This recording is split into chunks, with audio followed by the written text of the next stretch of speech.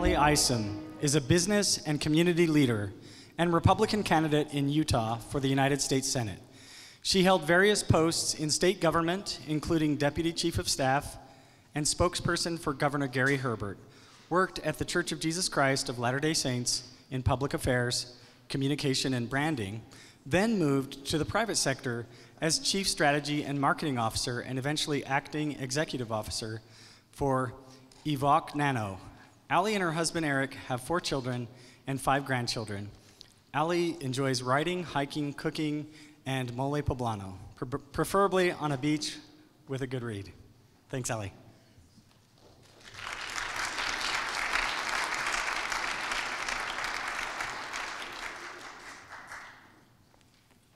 Thank you, Carl.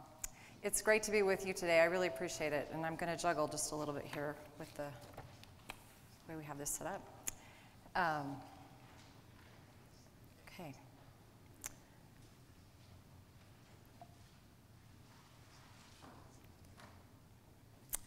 Who knew that a microscopic little thing like SARS CoV 2 or the coronavirus could wreak such havoc on our world?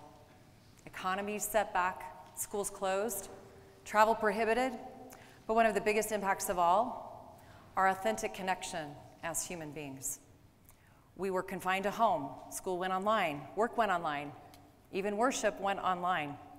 And at first, the introvert in me, I relished my little COVID cocoon, especially the Lycra wardrobe part of it. And uh, over time, physical isolation starts to take a toll, even on the most introverted, but especially for those who thrive around other humans. We started to realize how much we really need each other. And neuroscience tells us our brains are wired to connect with others. In conversation, pathways light up our brain. Whoop. Let me try this. They, wire, they light up our brain, mirroring the other person's emotions and behavior. I believe we made connections before this world began.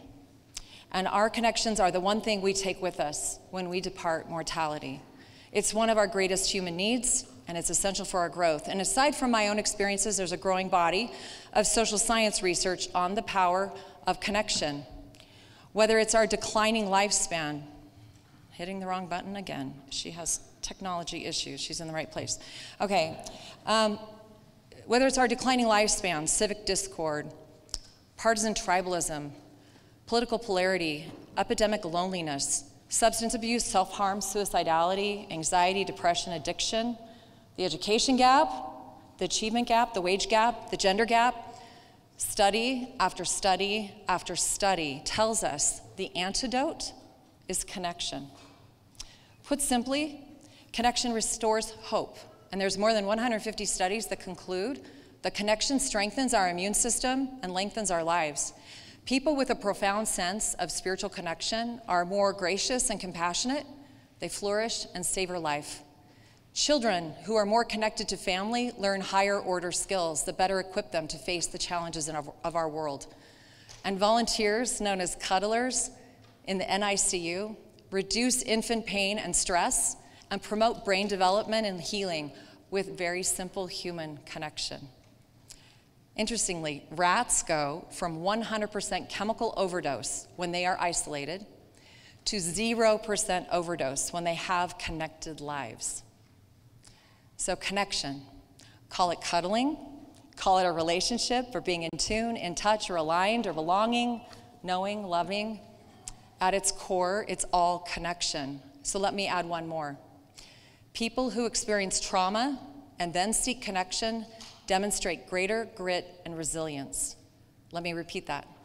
People who experience trauma and then seek connection demonstrate greater grit and resilience. We've all been a little traumatized during this global pandemic.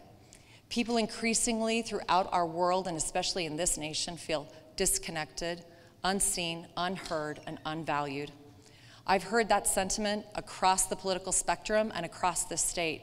So if you take one thing from my brief remarks today, I hope it is this. As we come out of this pandemic, if we seek connection, individually and collectively, now, today, we will better be equipped to face the next big challenge and the next one and the next one. We will resist what has become the paralyzing grip of fear, uncertainty, distrust, and hopelessness. What the world needs now is real, meaningful, and lasting connection. I know you're all humming the song.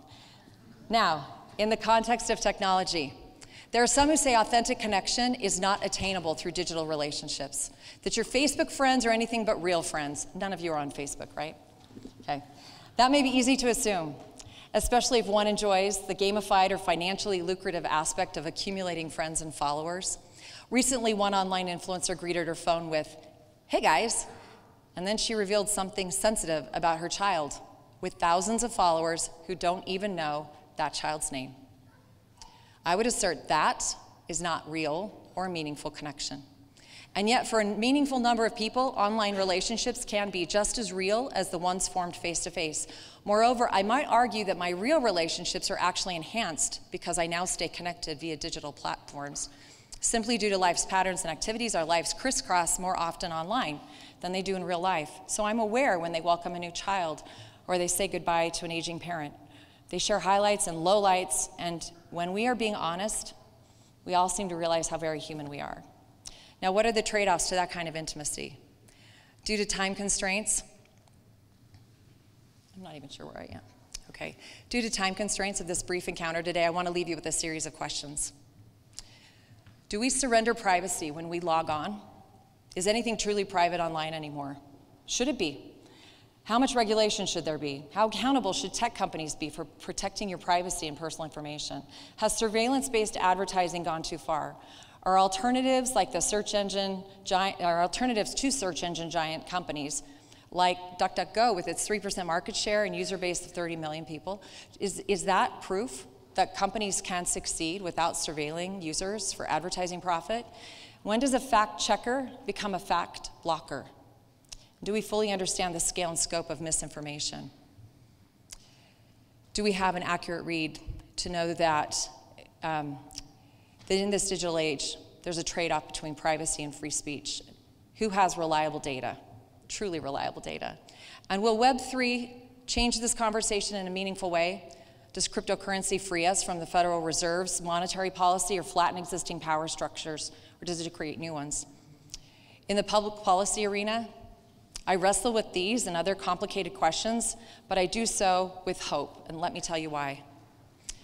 Since I officially filed to run for office in the US Senate, I've walked every, in, with everyday Utahns in 90 communities, and there are amazing people doing amazing things. If you want your hope restored in humankind, turn off the TV and the computer and go spend time with your fellow humans. I ask people what matters most to them.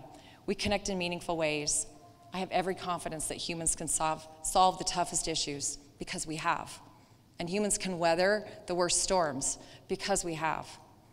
Humans come up with some pretty incredible ideas. I mean, really, it's amazing what we've done with this planet, but also to this planet.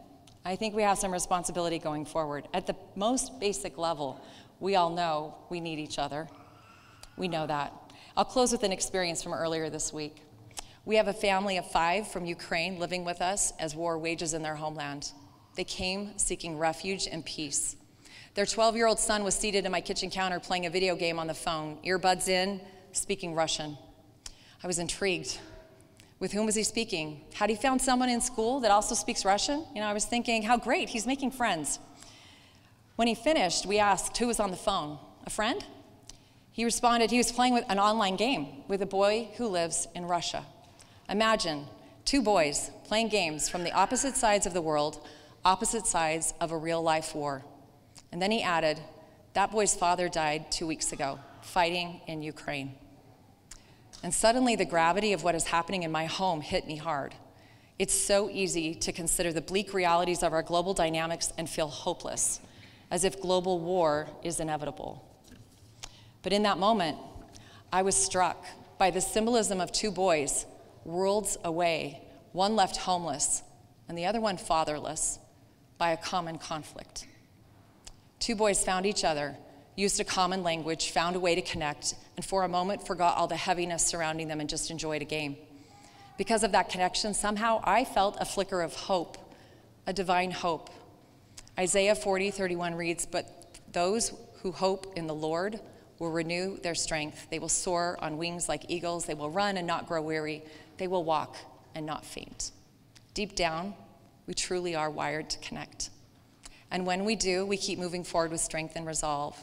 And as we navigate our world and its complexities today, may we never grow weary in pursuing true connection with each other and the divine source of light and truth, the truest source of infinite hope.